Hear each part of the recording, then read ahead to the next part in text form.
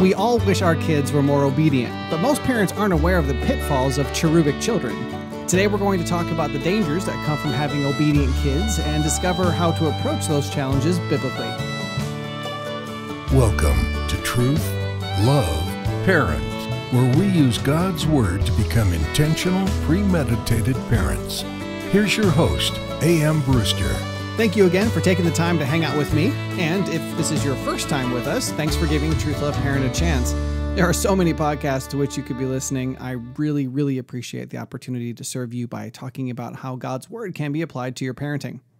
But whether you're new to the show or not, I invite you to come hang out with me on Facebook, Instagram, Twitter, and LinkedIn. I'd love to interact with you there as I try to be profound, or just merely share how I caught yet one more swarm of honeybees in my backyard. Awesome! It may not always be profound, but it'll always be me, and I pray it's always Christ honoring. Also, don't forget to check out takingbackthefamily.com, our blog, for today's free episode notes and transcript. And now we talk about something you may have never dreamed possible. How could having obedient children be a curse? Well, today we're going to look at four groups of children who look like really good kids. And we're going to discuss what's really going on with them, how we can figure out if our kids fall into any of these categories, and how we can help our kids if they do. But before we introduce those four groups, we need to quickly remind ourselves what the Bible says about obedience so that we're all on the same page. By the way, if this information is new to you and you'd like to study it more, I'll link additional resources in the description of today's episode. The resources will provide the biblical argumentation for the truths I'm about to share. First, biblical obedience requires doing the right things. And of course, by right, we're talking about God's definition of right, not ours or our kids. Second, biblical obedience requires that we do the right things in the right way. And again, neither we nor our kids get to contradict God's expectations for the way we obey. Third, we must do those right things in those right ways for those right reasons. This one is huge, and we'll talk a lot more about it later today. And fourth, if you are doing the right thing in the right way for the right reasons, you will also be doing it in the right power, which is the power of the Holy Spirit that God promises to those who submit to Him. However, the Holy Spirit will not empower obedience that isn't even trying to submit in the three previously mentioned areas. Now, just by looking at that list alone, you can already imagine how a child may look, to everyone who knows them, like an obedient child, and yet still not be truly obeying. So, let me say two more really important things before we start trying to figure out if our kids are genuinely being obedient or not. First, you are human, you're finite. You are mortal. You can't read people's minds. Yes, I'm going to suggest that you carefully observe and interpret your children's behavior, and I'm going to share a lot of my experience with children from each of these categories, but your kids may be different.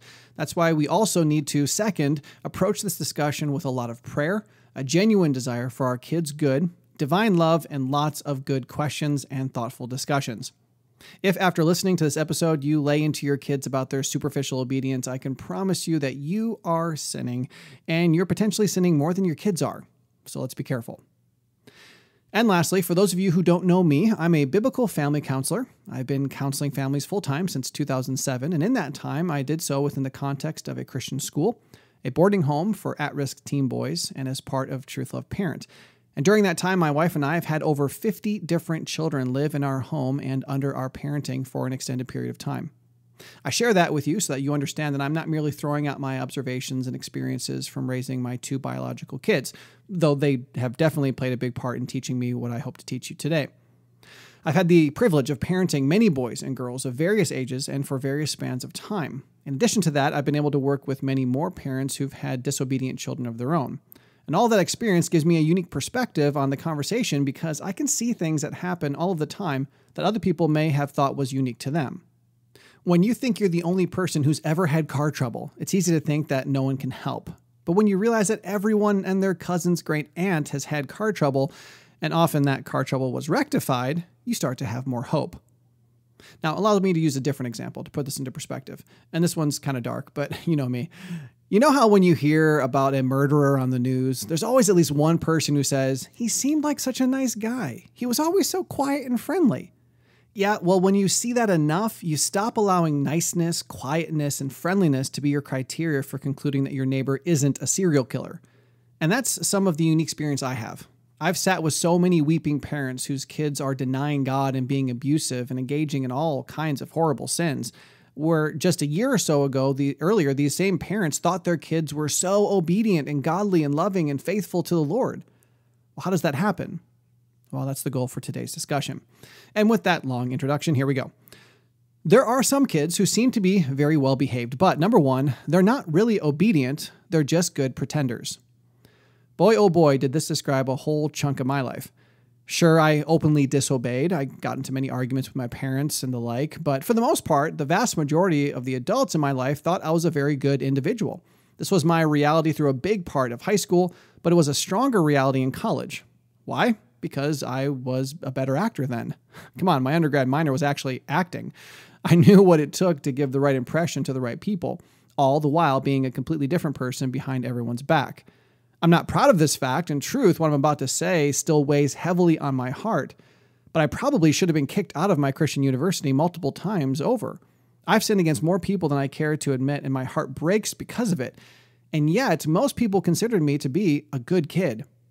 And here's the thing I've worked with so many parents whose kids were really good pretenders. Now, this episode cannot be as in depth as I'd like it to be. So let me just say now that we're going to have to move quickly through each of these categories.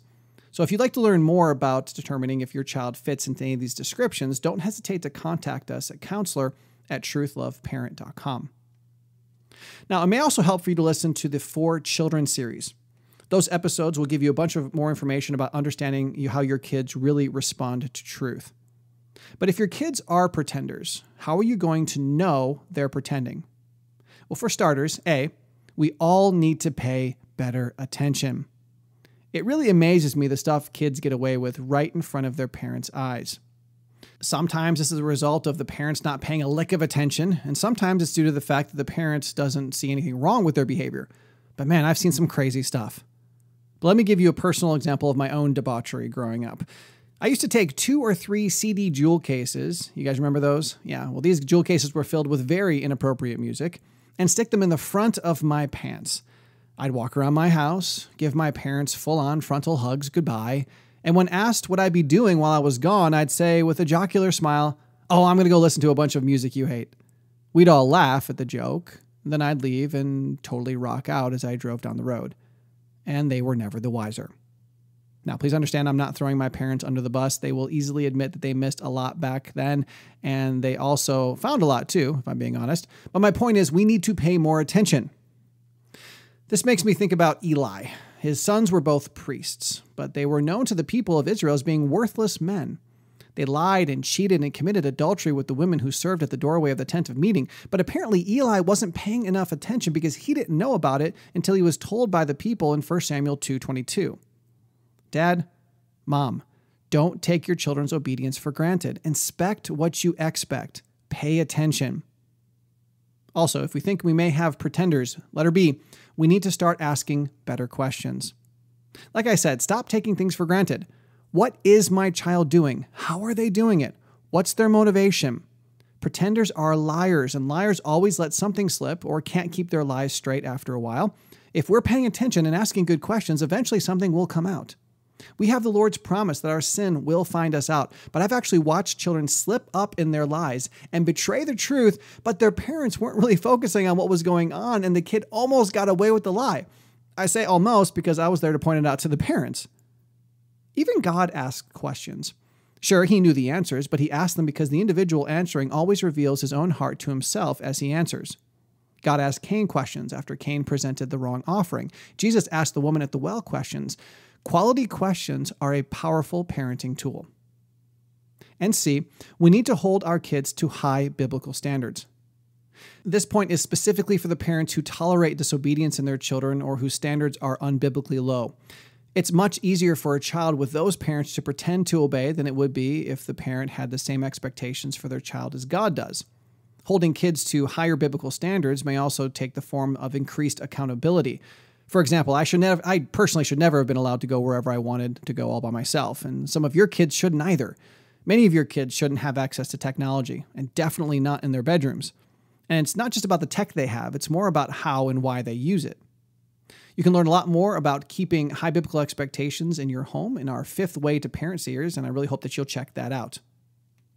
Now, this next category of quote unquote obedient children is similar but unique. Number two, they do the right things, but they don't do them the right way. The pretenders fake obedience. That's what generally makes them easier to discover. They're not completely genuine. However, the partial obeyers are often very genuine about doing the right things. The problem is that they're not doing the right things in the right ways. Most young children fit into this category at some point in their lives. They're told to clean up their rooms, but they don't do it in a timely manner. They do it with a bad attitude, or they don't follow all the rules you've given them about white gloving their bedroom. And it's often the same parents who don't pay attention or don't who don't ask good questions or who don't have high biblical expectations for their kids that allow partial obedience from their children.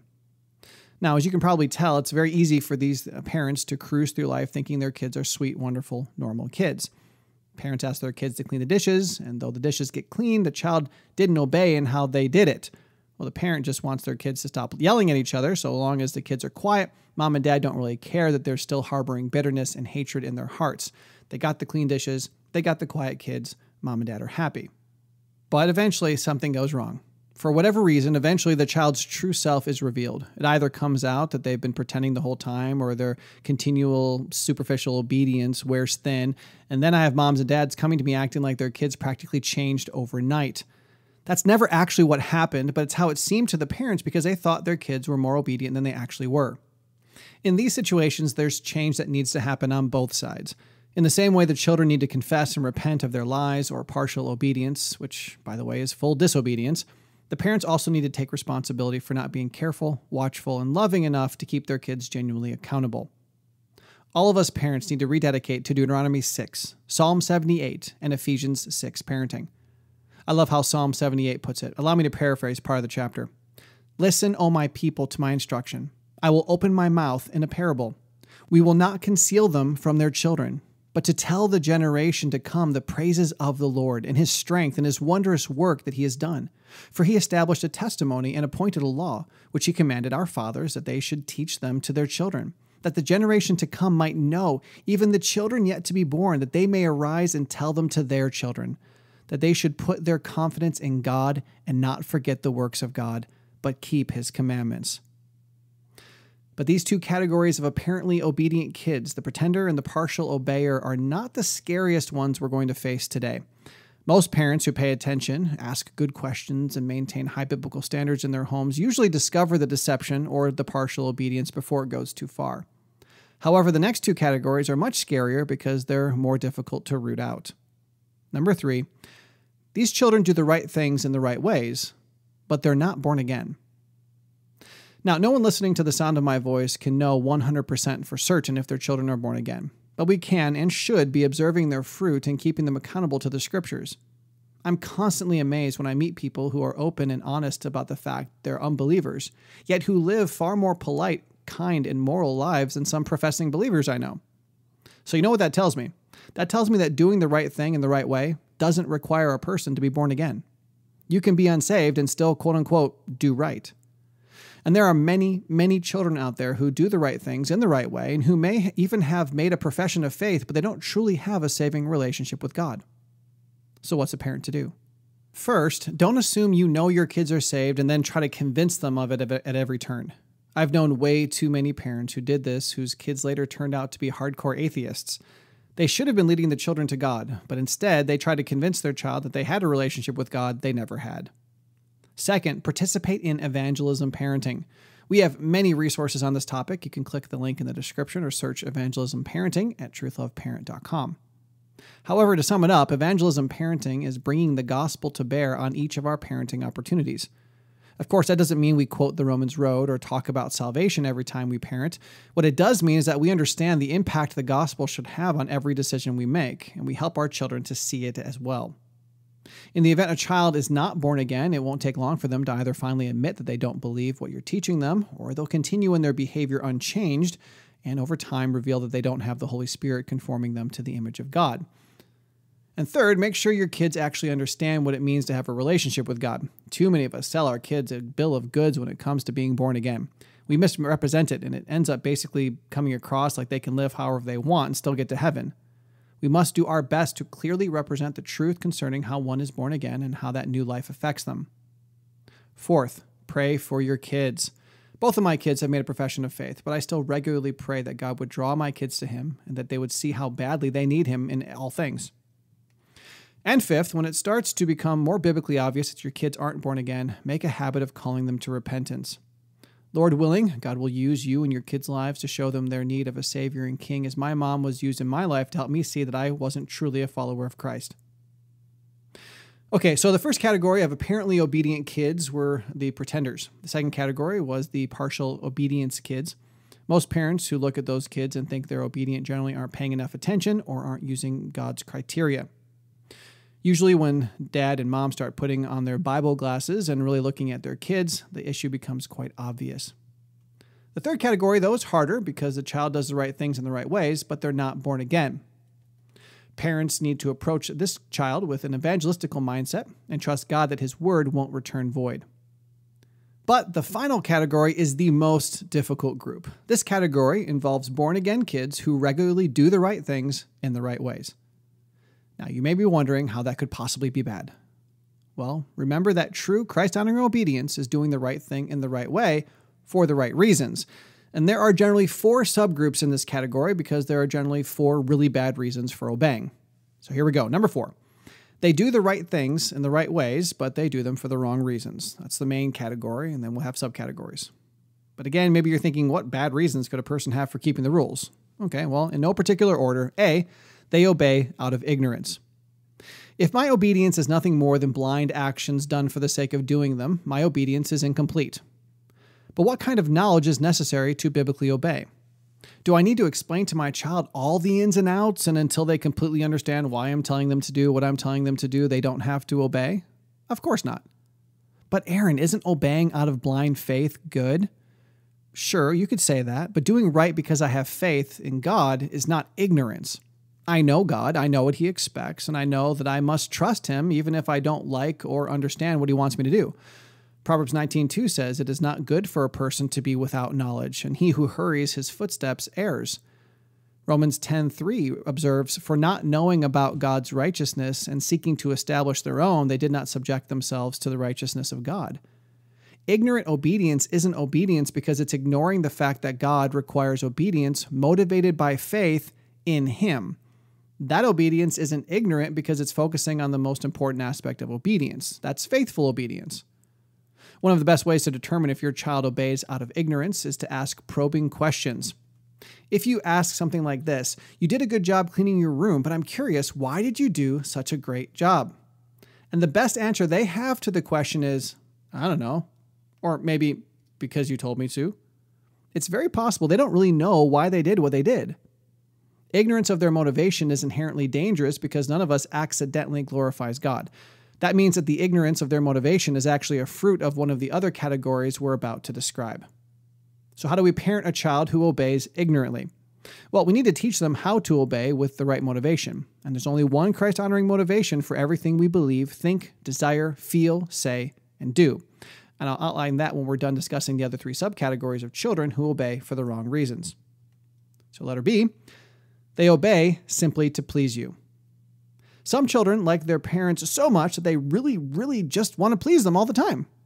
Now, I know this doesn't sound all that bad, but we must remember that there are only two choices on the shelf worshiping God or worshiping self.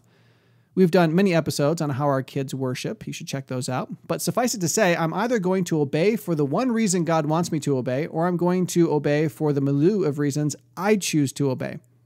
And it's that whole reasons I choose to obey that makes my obedience an act of idolatry.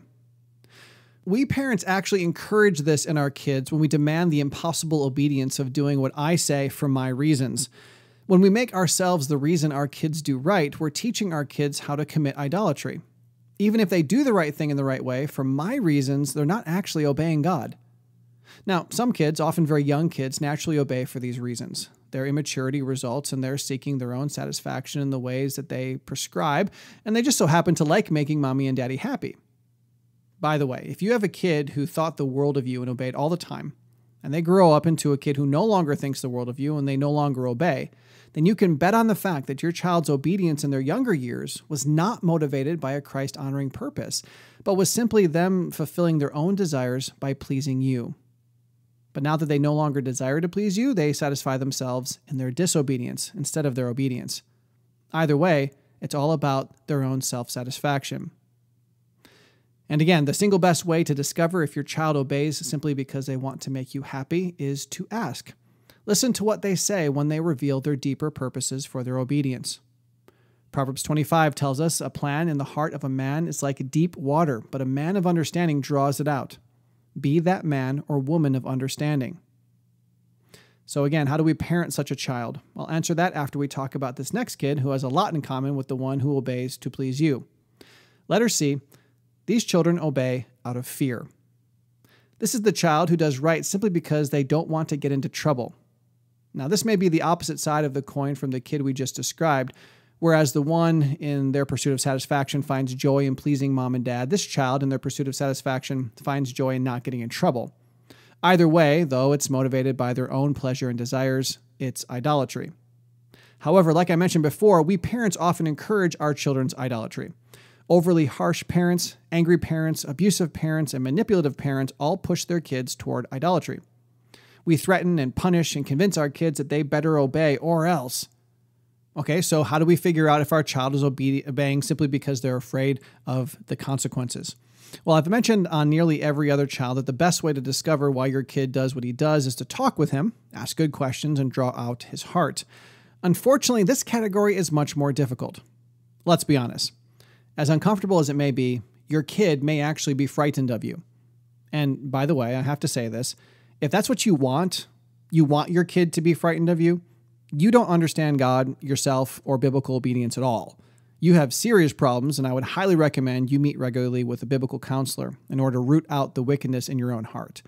I say with Peter in Acts 8:22, repent of this wickedness of yours and pray the Lord that if possible the intention of your heart may be forgiven you. But here's the thing. Your child may be obeying simply to avoid consequences. That means that they're probably afraid to admit to you that they're afraid of you. Of course, in Christ, there's hope for this kind of situation, but this one is deep and needs to be addressed biblically and carefully, but we don't have the time to unpack it here. Therefore, I recommend you to reach out to us at counselor at truthloveparent.com and set up a time to talk. But how might we start addressing this problem? Well, for now, let's remove the element of their being afraid of you obviously you need to confess and repent of how you've been motivating your kids and we need to stop trying to manipulate them with fear if that's what you've been doing but even if they are just afraid of legitimate consequences you can help them the same way you parent the kids who are ignorant and the kids who obey just to please you. The issue is that they are serving self and likely don't know why god wants them to obey. So we need to teach our kids how to biblically obey. I know it's crazy. We have to teach them to obey. But we do. From the earliest ages, we need to motivate our kids' obedience by actually telling them why they should do what they do. And guess what? Their obedience has nothing to do with the fact that you've told them a hundred times, or that they're getting on your last nerve, or that they're going to make you look bad, or that no one will want to play with them if they act that way, or any of the other pragmatic, selfish, and sinful motivations we place in front of our kids. But I'm getting ahead of myself. I'll get to the right motivation momentarily. Okay, so some kids pretend to obey, some kids only obey partially, and some kids do right on the outside without a relationship with God on the inside. But there are also a lot of kids who follow the rules out of ignorance. Then there are others who do what they're told because they want to please you. But others still are petrified of what may happen if they disobey. And then there's this last category. Letter D, they obey because they like to obey. Now, again, I'm sure that at first glance, this sounds great. My child actually likes obeying, but I'm also sure you can recognize the problem here. This child is no different than the kid who simply wants to please you or the kid who wants to avoid consequences. This child is doing what he or she wants to do with no thought to what God wants them to do. They just so happen to like following the rules. They do it really well and it makes them feel good. But that's nothing more than Pharisaism. That's idolatry too. And to complicate matters more, when they're actually truly born again, it's these kids who can be the hardest to spot. Being genuine Christians, they're filled with the Spirit, and that means that no doubt some of their obedience is truly motivated by the right reasons. But that doesn't mean we should assume all of their obedience is. You see, in college, I was born again. It's true that I pretended a lot, but being a child of God, I frequently experienced genuine shame and conviction over my sin. And there were plenty of times I was motivated to obey because I love God and it was right. But there were also many other times I did right simply because I liked doing what was right. For example, I never drank alcohol or did drugs in college. And though I'd like to think that some of my motivation was that I wanted to please the Lord, I can honestly say that I knew enough alcoholics and drug addicts to know I didn't want to be anything like them. I had no desire to mess around with substance abuse because I saw what it did to those guys. And though that may sound wise and noble, I can promise you that one of my big motivations was that I thought addicts were stupid and pathetic and I thought I was better than them. And that is 100% the wrong motivation for my behavior. Now, I appreciate your patience with this longer than usual episode, so allow me to recap and then wrap up by describing the only motivation for our obedience that glorifies God. First, some parents think their kids are obedient when they're only pretending. Other kids believe their kids are obedient when they only do the bare minimum. However, high biblical expectations coupled with close attention and heart revealing questions is often all it takes to unveil this faux obedience. Still, others are content with their children's obedience, even though their child doesn't know God and is heading toward a Christless eternity. But what does it profit a man if he keeps earthly rules if he loses his own soul? If you're a parent of these kinds of kids, and if we're being honest, all parents start off with kids in this category, those parents need to make the gospel their highest parenting goal. We need to make sure our kids understand what it is, we need to weave it into our practical parenting, and we need to call our kids to repentance. But it's this last category that throws some of us for a loop. Our kids have clearly shown that they're bearing fruit of genuine repentance, at least at times in their life, and they frequently do the right things in the right ways. But the problem lies in the fact that our kids are obeying out of ignorance, as men pleasers, out of fear of consequences, or simply because they get satisfaction from doing right. So, just like the other children we discussed, parents should be diligent to draw out the intention of their kids' hearts. We need to help our kids understand why they do what they do. They won't naturally figure it out on their own, but it's too dangerous to leave it uncovered. Therefore, we need to pay close attention, hold them to high biblical expectations, and we need to engage in quality, thought provoking conversations where we engage with the heart level purposes. And when we find that our kids are doing the right things in the right ways for the wrong reasons, and therefore are displeasing the Lord, we need to teach them what true obedience is. And this is where we turn to Romans 14 23b. Whatever is not from faith is sin.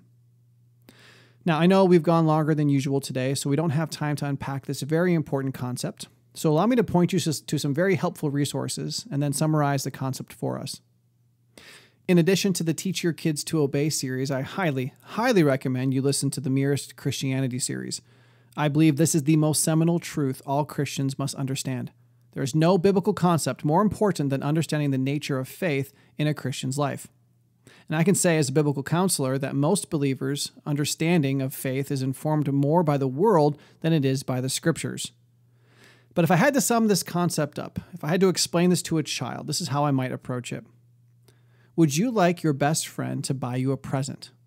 Of course, the child will answer yes. But what if your best friend bought you the present simply because they wanted you to buy them a present too? What if they bought you the present because they wanted to get something from you? What if they bought you the present not because they like you, but simply because it makes them feel good? Any thinking child will realize the quality of that relationship is poor indeed. And even though they'd be getting a present out of it, they wouldn't look favorably on the relationship. So then I may ask Do you think God wants us obeying Him simply because we're trying to get something from Him? Do you think He's pleased knowing that we obeyed simply because it makes us feel good? Does it glorify God when we do right because we are afraid of getting in trouble? And I may ask all of you who are married do you really want your spouse treating you well solely for selfish reasons?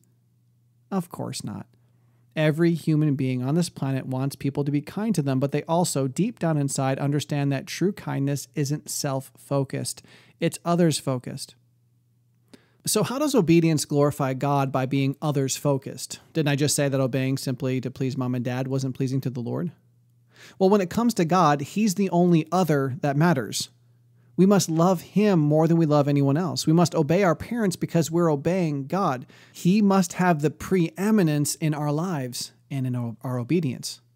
We should teach our kids that the grandest motivation for our obedience is that we want to make God happy. We want to please Him. We want to glorify Him. We want to worship Him. That's it.